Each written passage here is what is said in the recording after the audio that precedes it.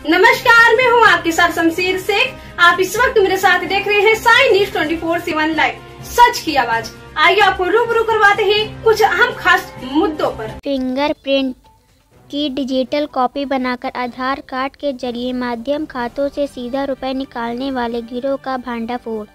शाहजहांपुर जनसेवा केंद्र संचालक सहित पाँच शातिर अभियुक्त गिरफ़्तार। Laptop, mobile, SIM, fingerprint scanner, document scanner, fingerprint reader pendrive मोहर, आधार कार्ड, अन्य इलेक्ट्रॉनिक उपकरण एवं कूट रचित दस्तावेज़ बरामद। शाहजहांपुर से दिलदार खान की रिपोर्ट।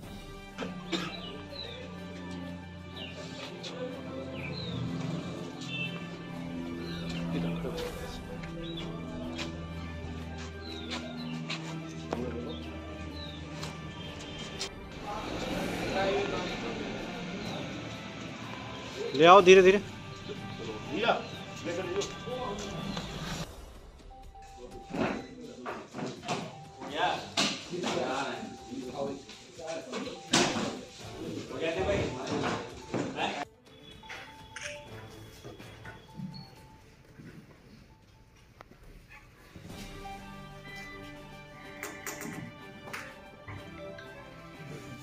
शाहजहाँपुर में किस तरह से साइबर सेल और कांट पुलिस ने बड़ा खुलासा किया है।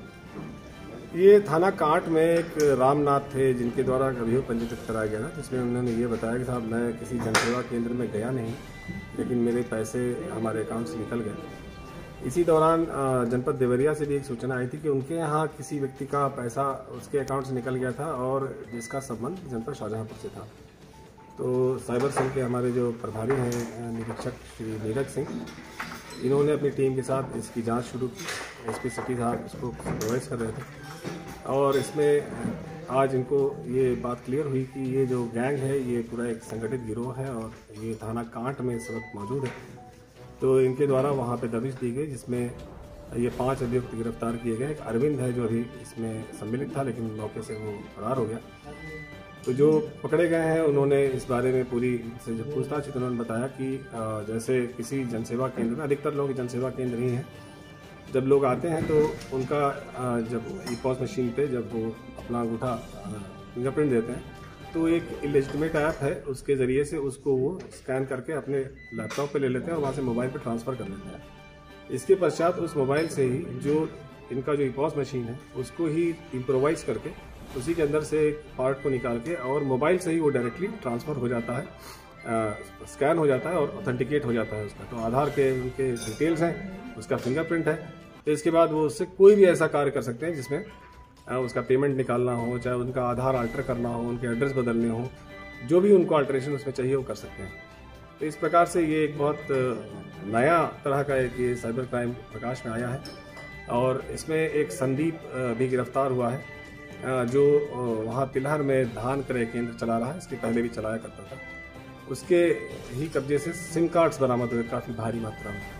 तो जब इससे सिम कार्ड के बारे में पूछताछ हुई तो उसका कहना है कि साहब, जो धान क्रय केंद्र में, जो किसान जिनके पास मोबाइल फ़ोन नहीं हुआ करते थे तो उनके लिए सिम मंगा के रखता था प्री एक्टिवेटेड और उसमें वो उनके आधार को उसके साथ जोड़ करके और उसके हिसाब से वो आगे कर चुके ओटीपी आती है उसमें।